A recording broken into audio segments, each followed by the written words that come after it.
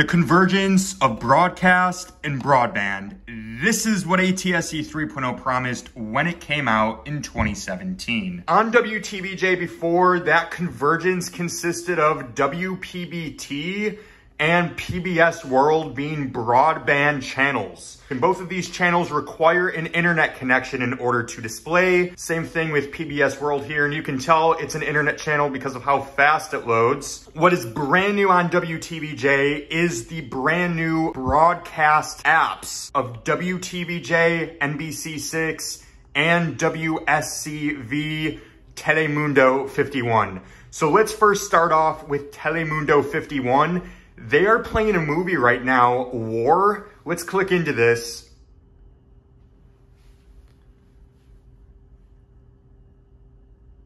All I have to do is just click this button here on the right. And as you can see, there was already a message that came up that asked me if I wanted to start this from the beginning. I just click this right button. And as you can see here,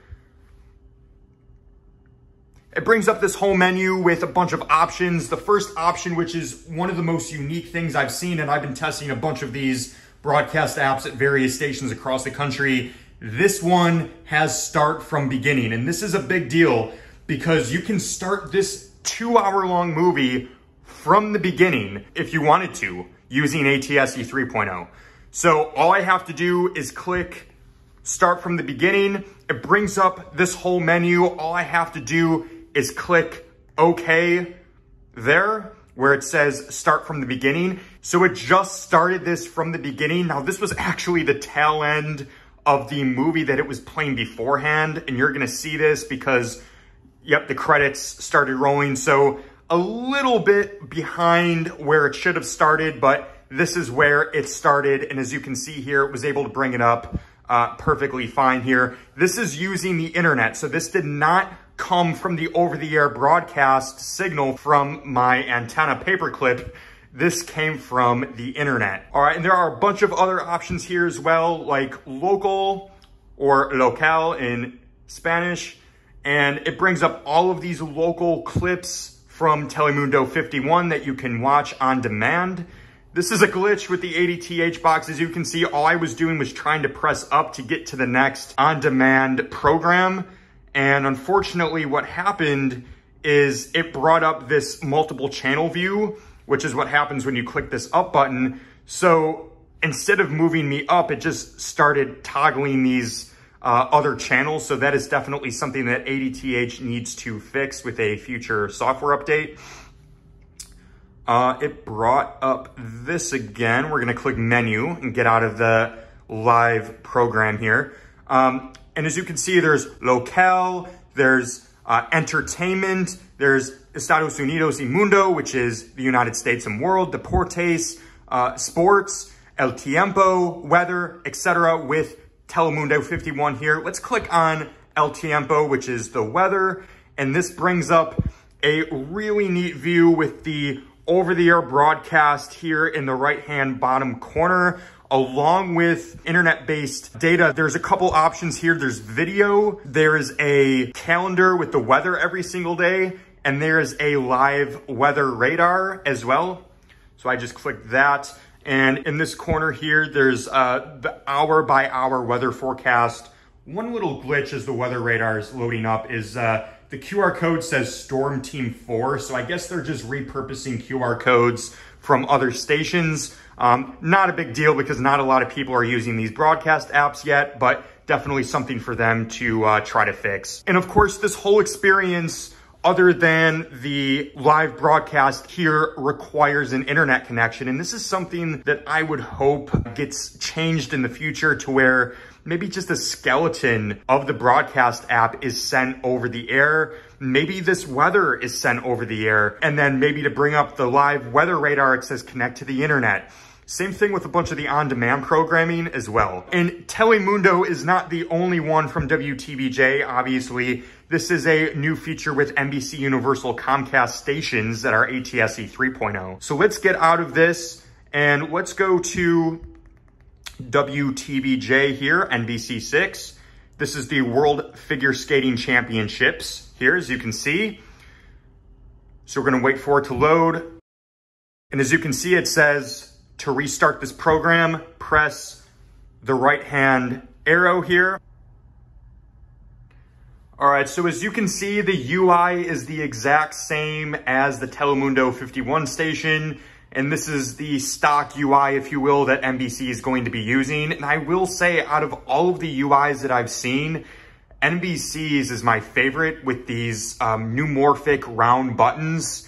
I think it looks really nice. Uh, let me know what you guys think. And I'll show you some of the other broadcast apps as well. But this is the same thing as Telemundo 51, except with NBC6, I noticed that there's a lot more programming on demand. This just seems to be more baked than Telemundo 51. So there's the same uh, options here, and it just did the same glitch where it's bringing me back to the last channel uh, just by scrolling up. Again, ADTH, if you're watching this, please fix this. All right, I got it back up. Scrolling through, it's the same sort of thing as Telemundo 51. There's entertainment, US and world, sports, local, weather, and then I'll be uh, diving deep into the preferences in just a second. Literally what I have to do is I have to click the back button, scroll up once, click the back button again just to keep it from going over onto the multi-channel view thing. So let's do probably the one that I was really impressed with, which is entertainment. This entertainment screen is packed with programming.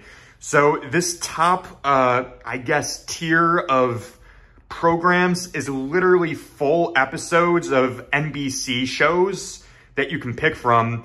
So like I was watching this one episode here and it actually uh, showed where I left off and I can just click on this. And as you can see, it is loading and it brings me back right where I left off. So this was a show that aired 24 days ago. This is completely on demand. This data is coming from the internet right now. Uh, this is not coming from the over-the-air broadcast signal. And if I want to back it up to say the beginning, I can do that.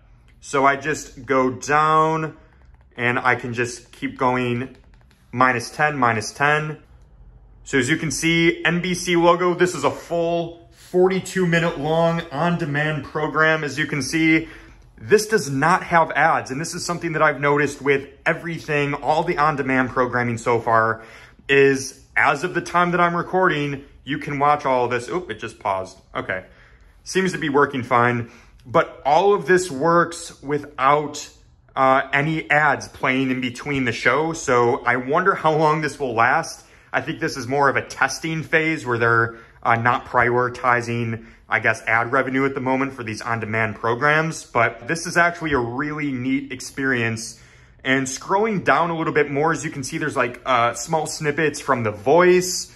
Um, there's small snippets from Saturday Night Live. So for instance, I was watching the Close Encounter cold open and it showed where I left off. So I can just click on uh, this episode and it is gathering the data from the internet right now to produce this on-demand uh, snippet. And if I want to go back to the beginning, I just keep clicking the back and then click play. And as you can see, it starts off uh, from the beginning. Little glitchy, as you can see here, there's like frames that are being dropped. Now it seems to be uh, doing fine. But one of the things that I wish they did is, let's say the Close Encounter Cold Open is something that a lot of people watch on demand. Why not broadcast this on-demand clip actually over the air? If a lot of people are watching some of these uh, SNL skits, then maybe the ones that are the most popular, they actually broadcast. And then the less popular ones, they save for the internet. If you don't have an internet connection, you still have a basic experience. And then it says something like, in order to watch more snippets, please connect to the internet. Something like that. I think that would make this experience way better. Um, and there's definitely the capability to do that with ATSC 3.0. And in terms of data capacity, if they just switched this live program to versatile video coding, they would automatically have enough room to start doing some stuff like this. So definitely there's uh, tons of room to do this if things are switched around. As of right now, unfortunately, all of this requires an internet connection, which is why I think this would be so nice to have sort of a skeleton experience without an internet connection. All right, so one thing that everybody should definitely look into when they start playing around with this is the preferences tab. Let's get into this and go to TV settings. Now, one of the things that concerns me is the amount of data collection. So if you care about your privacy, go down to where it says your privacy choices. This is defaulted to on for everybody. So I would love a world where everything was defaulted to off and you had to actually opt in to having your data sold. And it literally says up here, um, you may have the right to opt out of the sale or processing and disclosure of your personal information. So they're literally telling you that they are going to be selling your personal information by using this broadcast app. So definitely go into this if you care about privacy, click off and turn this off. And hopefully they respect that. And once you actually click off, they stop uh, selling your personal information. This is one of the reasons why I would really like a broadcast app that doesn't necessarily need everything to come from the internet. And it would be nice to be able to access some on-demand programming from the broadcast itself. So definitely if you care about that sort of thing, go in here, make sure you check that uh, off. Other than that, as far as the other broadcast apps are concerned, like I was saying, WPBT, the broadband channel, I guess, one of the two on WTVJ, it has a broadcast app. So I just click the right button here, and then this is what it looks like. It's an okay UI. I think it looks okay.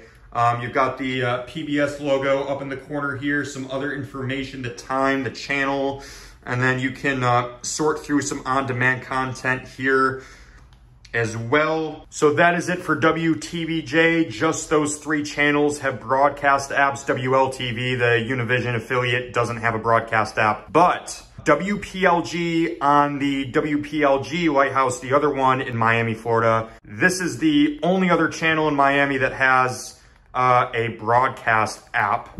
So I can just click into this. There we go. It took a second to load. And this is what theirs looks like. So again, not my favorite looking UI. Uh, they don't have an option to uh, start anything over from the beginning. And as you can see, they actually have a lot of options uh, for WPLG here. This is definitely tailored for their local station where I feel like NBC Universal kind of went the, the more general NBC route. This is hyper local in my opinion with the, the live events and cams. Like you can go through and there's like the Hollywood Beach cam and the Fort Lauderdale cam and the Key West cam, the downtown Miami. So if I want to see what downtown Miami looks like right now, if this will work. No? Mount Sinai? Okay, Mount Sinai is working. Maybe the downtown Miami cam isn't. But uh, this is the Mount Sinai cam. So pretty cool. You can go through cams. There's their uh, Dirty Dining series, which is a, a little mini series on WPLG that they have.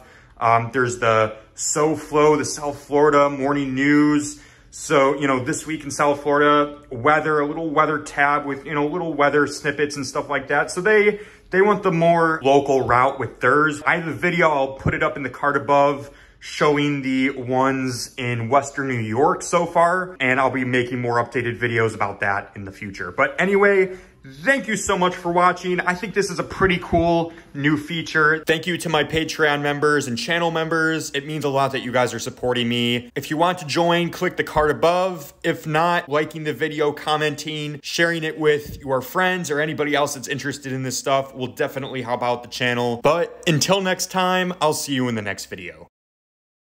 If you like this video, consider subscribing and liking the video. Follow Western New York Over the Air on Instagram, Twitter, and threads at WNY Over the Air. Like Western New York Over the Air on Facebook at facebook.com forward slash WNY Over the Air. Support the channel on Patreon at patreon.com forward slash WNY Over the Air. And check out WNYOvertheair.com for live band scans, cord cutting tips, and much more.